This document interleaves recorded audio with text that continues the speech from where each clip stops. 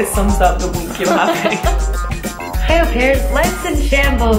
Hey, pairs, I'm Edwina. I'm Hannah. and We are au oh, pair au pairs. Is that what we usually say? No. Today we thought we would do a nice and easy video. We did a live stream on Instagram yesterday. Just super fun.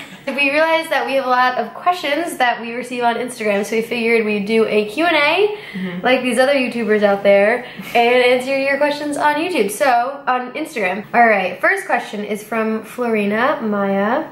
She gave us a little bit of a situation where she's like just having trouble with her host family. I think we saw this a lot on the Instagram live feed yesterday where a lot of people are just starting to arrive and meet their host families and we get a lot of messages, especially at this time, about specific situations that you're in, especially now people are first arriving with their host families and trying to understand the dynamic and Yep.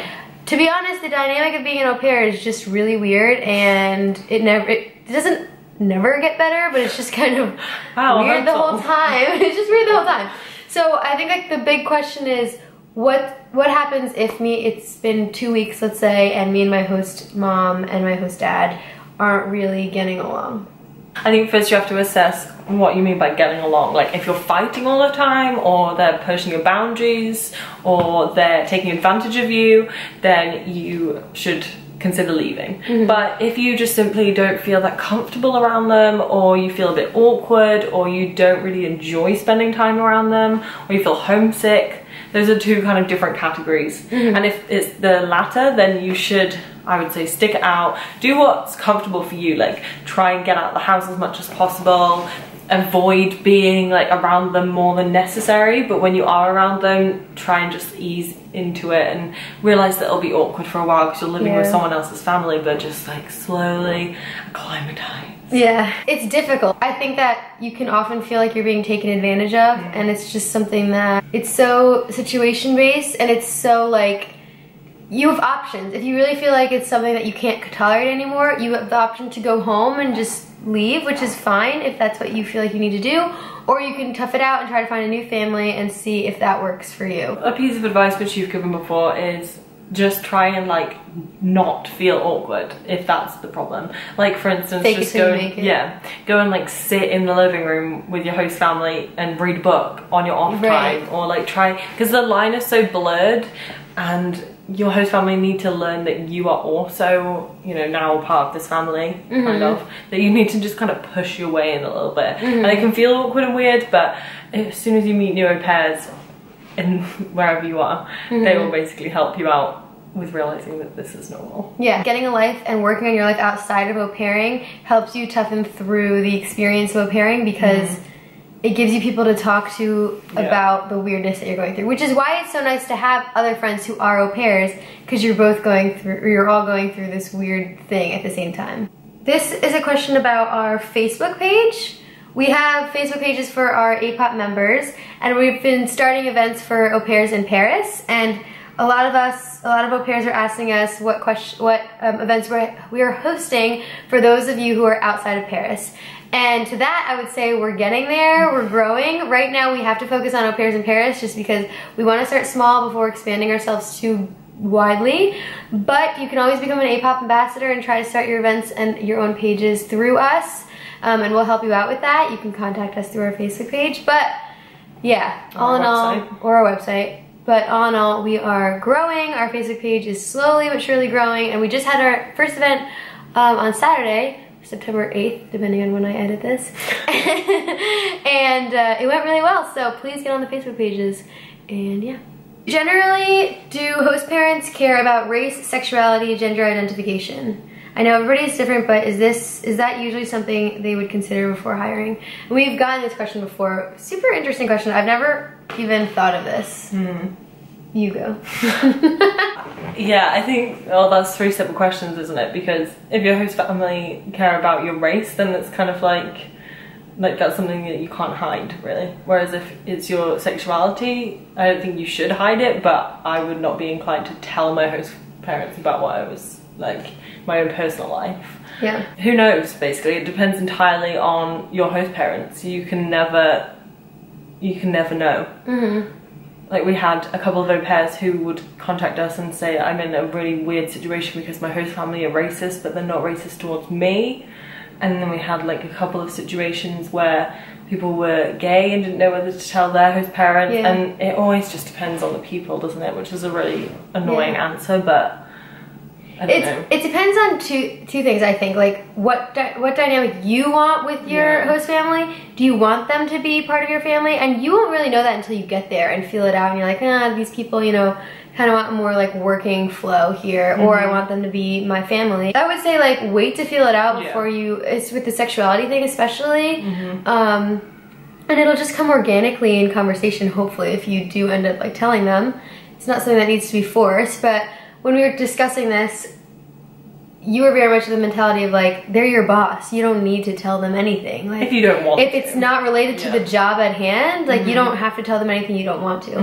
Whereas at first I was kind of like, they're your family. You should definitely tell them. They should be able to accept you for, you know, who you are. Mm-hmm. And I obviously that's not I mean, I've never heard of a host family just like not wanting it no pair because they were No. of their sexuality. Yeah, But, I've never you heard know, of anything yeah. like that question. But So that's good, obviously, but- you don't know what goes on behind closed doors Right. and how au pairs are being treated. But I've never heard anyone being like discriminated against for their race, sexuality, or gender Yeah. identification. So, So I would Touch say wood. feel it out. Feel it out before you get there. yeah, Um, one thing I will say about the race thing is my very first host family had a Filipino nanny for years and years and years, Mm-hmm. and they were like, "Oh, you're Filipino," and it's like I am Filipino, but I'm American. Like I Mm-hmm. don't really, I'm not, I wasn't raised in the Philippines or anything, and they like took a liking to me because I was. Because I was Filipino, and they're like, "Oh, Filipino people are so kind." I'm You're like, "Yeah, "I am. Hire me." we're not experts on this though. Obviously, Yeah, like we'd love to obviously hear your um, experiences and whether any of you have been treated badly because of your race, or Mm-hmm. Sexual. Yeah, definitely put in the comments below if you've experienced anything like that. It's Yeah. terrible. What's the next step? Y'all, I think you mentioned you were finished au pairing, so now what? what a like question, who knows? We I talk mean- about this every day. We're at that age where it's like we don't freaking know. Uh, so, I mean, right now, I am going to be a teacher in France and working, and we're both, we're always working on au pair au. So that's something that's going to be continuous for like a long while. Hopefully, until we Yeah. get really tired of it, but we love helping y'all out, and so that gives us a lot of value, I think. But outside of You're that, gonna be a teacher. I'm gonna be a teacher. More kids. Yay, children! Yeah, I've been um, a freelance journalist since I was an au pair, so I'm going to continue doing that, and I'm pretty happy not knowing what the future holds, to be honest. Hannah's really good at just living in the present. Me not so, me not so Only much. because I don't feel the pressure, because I have like, I'm like, yeah, this is my career now. Get off my back. Right. Yeah, right. but we will continue traveling together, doing videos, make doing au pair Paris, and being friends. Touch one, potentially. Good question. How to deal with discipline and temper tantrums? How do you deal with discipline and temper tantrums? Again, it totally depends on the child, but my second host kid used to have really bad temper tantrums when I first arrived, and I realised it would always be because he was hungry. So I started feeding him more, he was like a different child. So I think finding the root source of like the problem, like what that is, and trying to deal with that to prevent the temper tantrums. But then during a temper tantrum, I don't know, I would just have to write it out. Like speak to your host family and ask them how they would deal with a temper tantrum. But one of my host kids would always like scream and cry and physically hurt me before um, she had a bath and that was like a situation that I have no idea how I would have dealt with that better because I tried to approach the parents for help and they didn't really offer much help and I tried to like bribe her and all sorts of things but So what'd you do? um, I just dealt with it actually this was probably a good one to cut out You just dealt with it. I had to because She would always have a tantrum and you just had to deal day with it. yeah I think that's good information. I used to have five rules that I made the home screen on my phone. And if someone broke one of those rules, then I knew that there would be consequences. But if it wasn't, if it was kind of in the gray area, then I knew I could kind of treat it as maybe not consequences today, maybe consequences. But like having five things that I knew to handle made my life easier. When tantrums happened, I first of all would default to what my parents, my host parents did. Hmm. And so my second host family was really good in that like whenever they came home from work they would ask me how the kids were and then if there was a tantrum that day I would say, oh, blah blah blah threw a tantrum because of this stupid thing that happened. Once I told them what had happened, they would discipline the kid accordingly. So seeing the parents discipline the kid based on what I said reinforced my power over the kids, even though that sounds kind of like scary. but the kids respected me more because the parents respected what I told them had happened.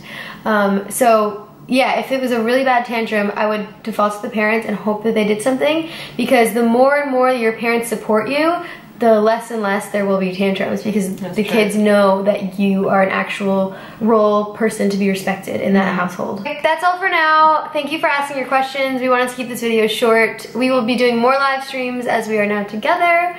And so keep an eye out on those. And And check out Edwina's vlog channel if you want to see what we're up to in Norway and how today. and how we are traveling across the country on a budget. ciao for now. Bye. Oh my god, we haven't in so long. It's so weird. Hey bears, I'm a ghost. I'm so pale. Look at this. Change the settings. I literally can't, it's just video. Oh god, maybe I should go put loads of bronzer on.